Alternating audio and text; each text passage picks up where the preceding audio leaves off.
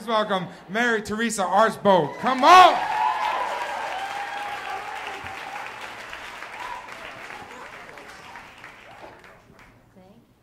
So when I auditioned for the dance program at the University of Michigan, I quickly realized that one of these things is not like the other. All the girls there were perfect. Long, lean, hair in a perfect bun, no flyaways. And there I was in a brightly colored leotard, tan tights, and a ponytail with my curly phrase going everywhere. And then they all did their audition pieces, which were meaningful pieces of modern dance. And then I did my audition piece, which was a jazz routine to Huey Lewis and the News, Hip to Be Square. When I finished my piece, the director of the program looked at me and said, Wow, we've never had one like you before. and I quickly realized, Wow, he's talking about my arm. You see, uh, I am an amputee. I'm a congenital amputee, so it's always been this way. Uh, and I have worn a prosthetic since I was about three months old, um, except for a short stint in high school when I had an injury.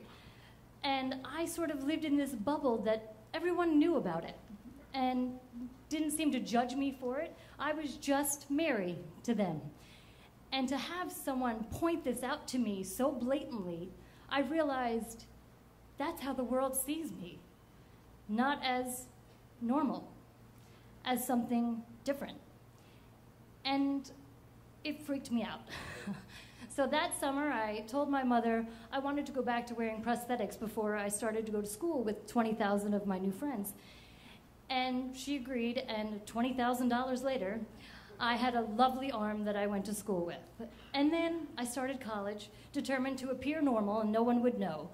There was a problem right up the, at the bat. I had roommates, and you live with them. And you might not know, but you cannot wear a prosthetic 24 hours a day. It's terrible for your skin. Your skin will actually break down and bleed. So, my way of hiding it was at the end of the night, I would get into bed, pull my covers up really tight, and take off my arm underneath the covers. And the first thing I did in the morning was put it back on and then get out of bed. Gracefully, I'm sure. And I succeeded. I appeared normal. And then eventually I was getting married, and I was looking for the most important part of your wedding the dress. And I found the dress, and I knew it was the dress because my mother started to cry when she saw me in it. And there was only one problem with the dress it was strapless. And that meant that my arm would be showing. And on my wedding day, I wouldn't appear normal. And so my mother had these wonderful long gloves made, and they covered my arm beautifully. But somehow on the morning of my wedding, I decided I'm not going to wear them. I'm just going to go as me. And there I stood at the back of the church about to go to my wedding, and I pulled my veil over my arm. And then I moved to New York, and I'm a professional actor. And Yeah. And so I'm performing and I'm working with a wonderful company that's called an integrated company where they have able bodied and disabled actors performing together.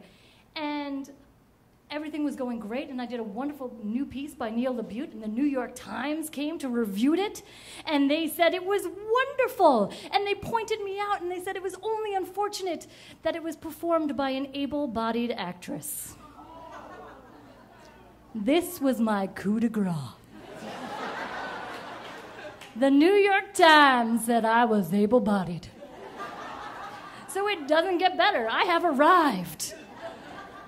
And then, just at that moment, I got the biggest challenge to appearing normal. I became a mother. Yeah. So, luckily, when you're pregnant, which is 10 months, not nine, just for clarification's sake, you have a long time to think about how you want to deal with your prosthesis and your children because you worry not just about yourself about what will they face? How will they explain it? What will they think of it? Will they see me not as normal?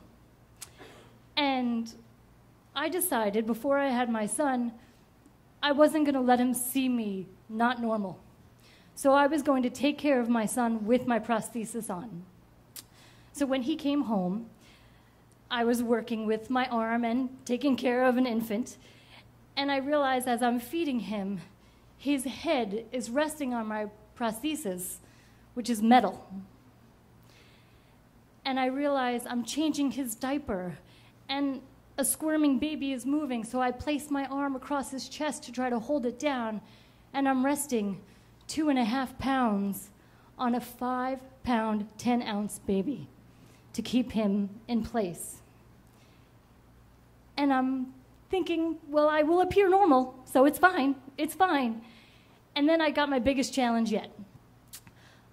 I had to bathe him.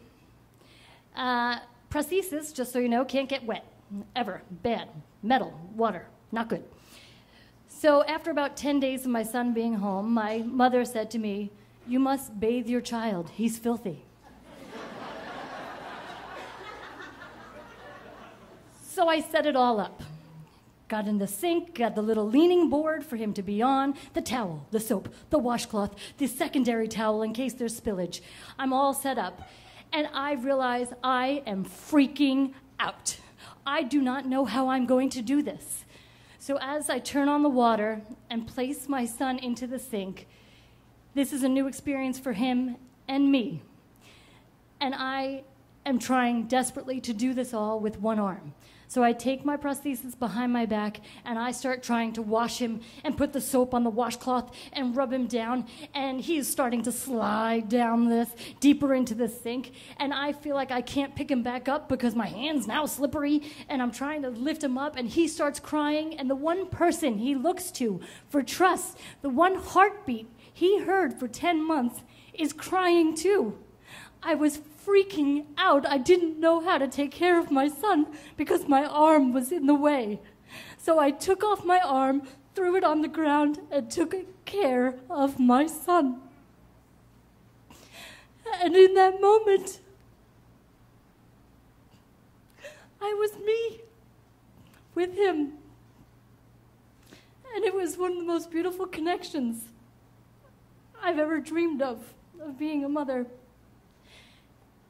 And things since then have been great. He's three.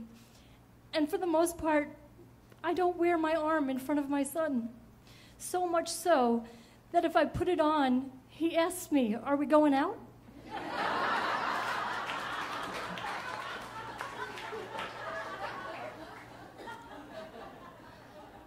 And now I know as he goes into the world, there will be questions and there will be times that he will have questions. And I know he'll look at other mothers and see things that I can't do. I can't play patty cake. I can't hold him with my fingers and lift him up into the air. And I know someday he'll look at those mothers that can do that and say, wow, I've never seen one like that before. Thank you.